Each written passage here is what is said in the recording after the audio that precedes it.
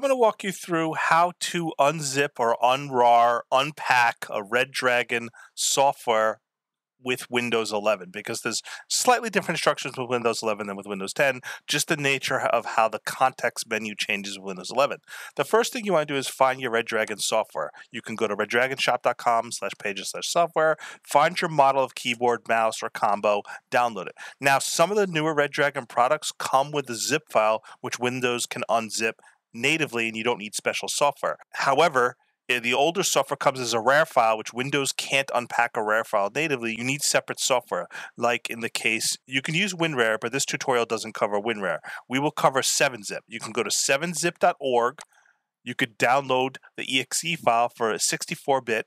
Download this, install this, as administrator so that it builds the context menu. This will allow you to unpack the RAR files that Redragon comes as, what the old Redragon files come as. So then all you need to do is you could do, I'll show you both ways how to do this. The first is I have a Redragon folder. Obviously the M808 software comes as a zip. That's no problem. You just right click, you say um, extract all, and you're good to go, right? Just extract it to its own folder, that's it. You got your the, nothing there. It's just a zip file. You got it there. There's your software. Just install it. You're good to go. But now, if you got this RAR file, you see how Windows doesn't understand this RAR file. This is for the M601 Centrophorus mouse. Right click. Now, what you're going to want to do is say Show More Options in Windows 11.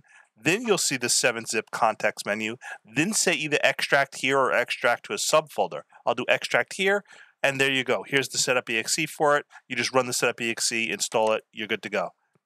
I'll execute it, show you to install it, and then here's the setup to just install the drivers. Now I don't have the mouse plugged in currently because I'm using a Logitech mouse, but that's basically how you do it. So easy peasy, 7-zip's the way to go. Now let's say you right click on a RAR file and you do not see the 7-zip context menu.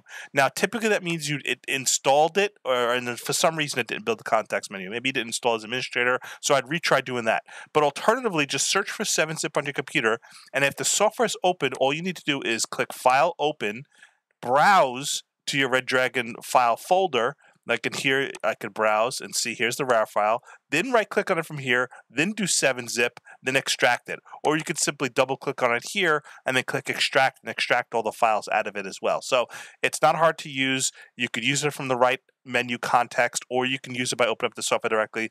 This is how you extract a Redragon RAR file for its software.